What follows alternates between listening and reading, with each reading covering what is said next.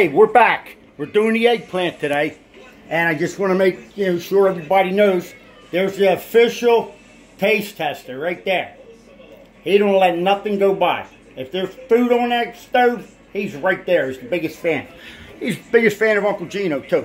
So here's what I want to do. I want to show you exactly the layers that I do for the eggplant. Oh, my God. Hey, the pilot, I guess you want to call it the pilot, that show's coming up. Uh, I got a couple guys lined up, a couple people to sit at the tables. Um, it's going to be cool. It's going to be fun. It's going to be laid back. And it's uh, Bret's cooking show. I don't know what else to call it.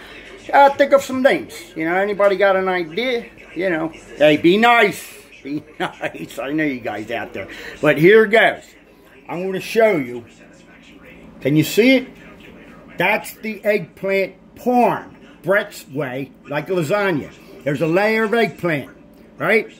Then we put some cheese on there, you know? Then I put a layer of pasta, a layer of eggplant, then I put some sharp provolone in there. So I got mozzarella and provolone. You don't want to go crazy, like I said before. You know, with the uh, the five cheeses, the two cancel out. Uh, bet a guy he said, I could name every cheese. I said, yeah, you looked on the label. If I make it up, if I put five cheeses in a bowl, I'll give you a $100 if you can name every cheese. There's no way. Your taste buds, boom.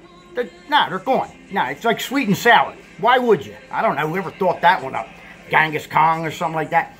But anyway, the sauce, the sauce that I made yesterday from scratch again, I don't know what I did. I might have woke up and put something else in here. It's the best damn sauce I made. I mean, ever. And they're all good. But what I did with this too, I started out with the country style ribs, right? You gotta have the country style ribs with all the meat and the flavor. You know, started it out with that. Then, I wasn't going to do it, but a lot of people said, do it. So, I put the hot sausage in with the sauce. So not only is this eggplant parm, but it's got a, a hint, a little kick to it, you know? Uh, with the sausage, you know, and I put a little bit of red pepper in there. And, my God, it equals itself out so good that you get to taste a little bit of everything. It's not like, uh, hey, who wants to go to Olive Garden? I didn't see one hand go up, all right? Because it comes out of a bag.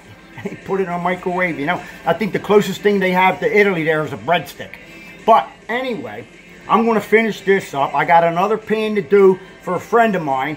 Um, can't wait to see her. I haven't seen her in years. And I made her a deal, and I'm going to stick to it.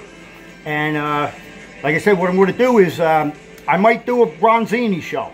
That's one of my favorite fish to cook in the summertime is the bronzini, you know? Because it sounds like a gangster or something like that. And by the way, my 4th of July Eagles shirt, you know, I, I had to get it. You had to get it. You know, I'm still up here still high with the birds, you know.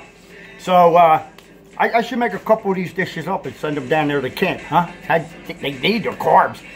So there is a layer of pasta in here this year. It's a lasagna noodle, right? The big sheets. Don't cook them. Don't boil them. Nothing.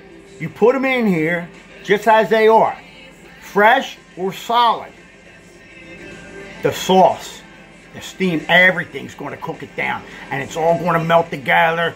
It's, you could almost pick it up like a sandwich and eat it, you know? So, if you ever get any or if you ever want any, let me know. And plan on not doing anything after you eat it. No driving, no nothing, because you're going to be laying like a fat rat. So, uh, everybody, if I don't see you and I don't uh, do any more shows before the 4th of July, everybody, enjoy your Independence Day. Ciao.